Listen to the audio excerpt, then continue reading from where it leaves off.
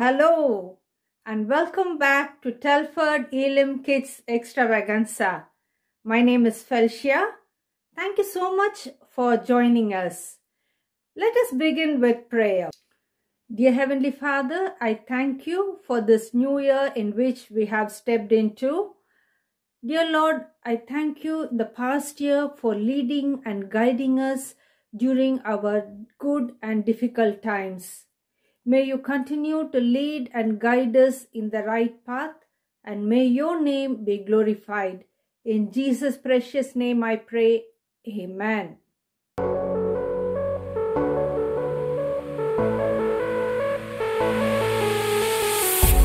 fight is on. I'll hold my ground. I'm gonna crash the lies of the enemy. Back down.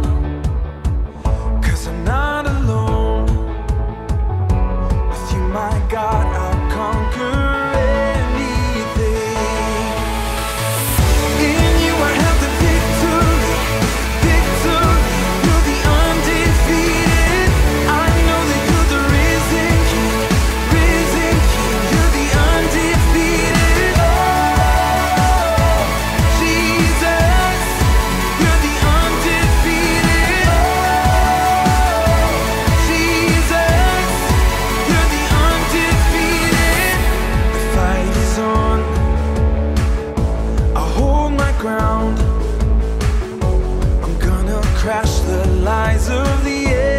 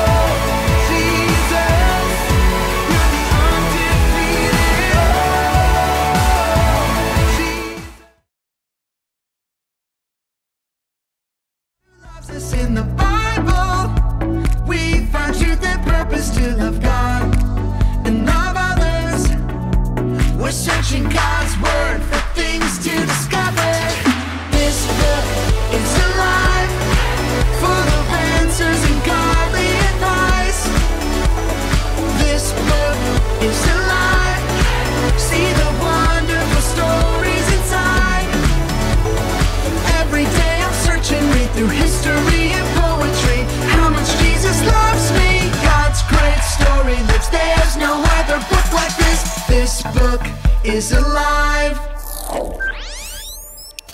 First Kings. After King Solomon died, his son Rehoboam became king. Yay! I'm the king now! The people sent a leader to the new king to speak up for them. So, how's everything going? Not so good. Listen, we've worked hard for your father. He made us pay lots of taxes and forced us to work building his palaces. Please give us some rest and we'll be willing to serve you. Hmm. I'll tell you what. Give me three days to think it over, then come back. King Rehoboam decided to talk it over with the same men who gave his father, King Solomon, wise advice. So, what should I do?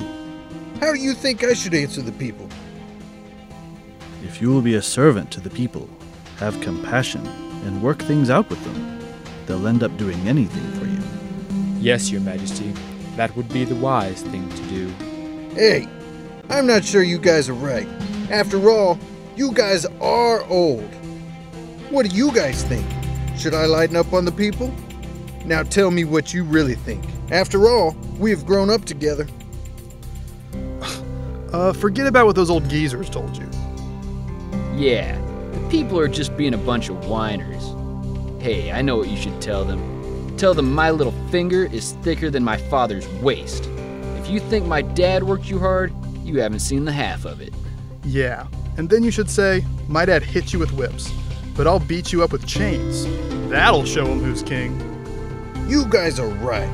Those old guys don't even know what they're talking about. Three days later, Jeroboam and the people showed up to hear what King Rehoboam had to say.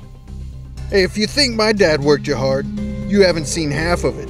My dad hit you with whips, but I'll beat you up with chains. What do you think about that? Get lost, King Rehoboam. We've had it with you. Go ahead, go. What do I care? Because King Rehoboam didn't listen to the wise advice of his leaders, the kingdom of Israel was split in half. Instead of ruling over all of Israel, as his father Solomon did, King Rehoboam only ruled over the towns of Judah. The rest of the tribes went with Jeroboam, and he ruled over them.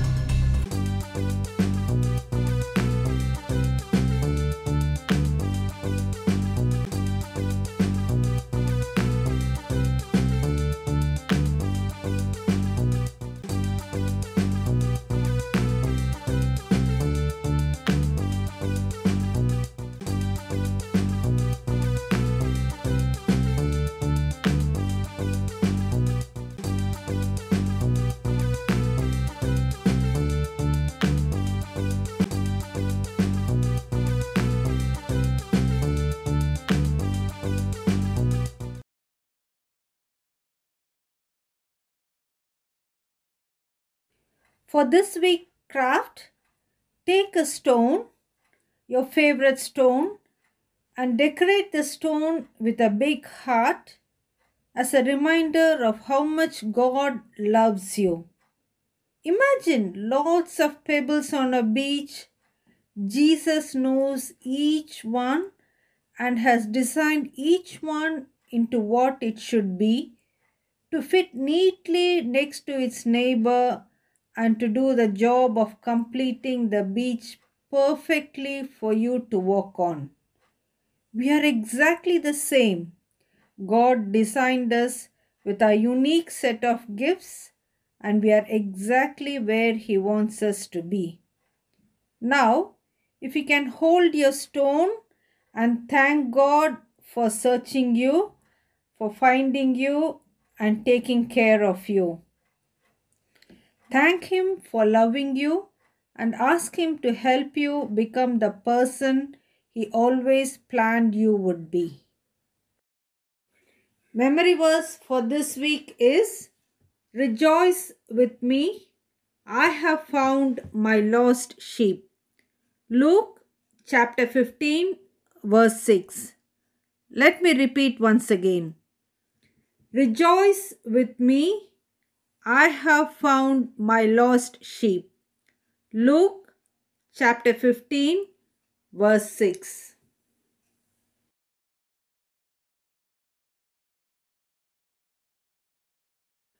Dear Heavenly Father, I thank you for your love. Help us, Lord, to love others the way you love them. We ask for your wisdom, strength, and power. We pray for your protection over our families and friends. We ask, Lord, that in this new year, you make all things new in our lives, in our hearts, in our minds.